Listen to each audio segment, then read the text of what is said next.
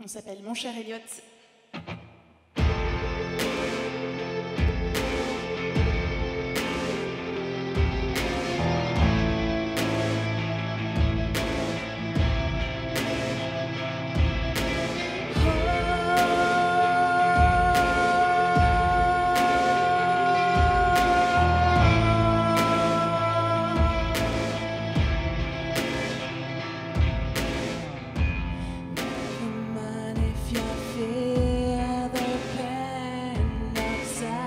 yo